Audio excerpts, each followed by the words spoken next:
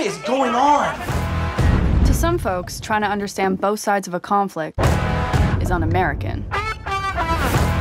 Trust me, y'all, I'm as American as it gets. My name is Reality Winner.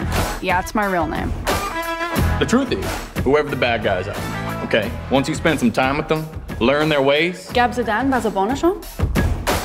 I want to help people displaced by war. You know what stops wars? The U.S. Air Force. Sorry, dude. I'm going to A&M. So I joined the Air Force. Really?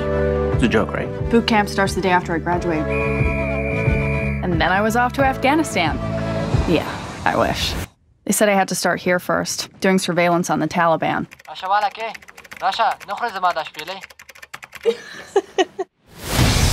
The next two years were all drone strike in Bamiyan, road trip with Andre, bench 130, killed someone's grandfather, dude moved into my place, killed three ISIS dudes, $500 to the Red Cross, saw Pitch Perfect 2, better than Pitch Perfect 1. Wonder if they'll make it a trilogy. Your job is to monitor Iranian aerospace. Everything else is need to know. What if I need to know who got eliminated on The Bachelorette? Not on office computers.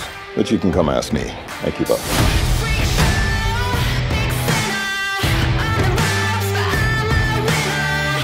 Mean, you'd at least want to look, right? Be honest.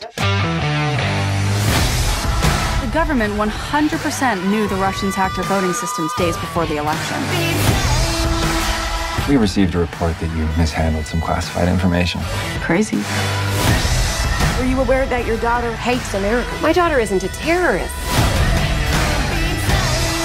If no one ever takes a risk to try and change things, then nothing will ever change.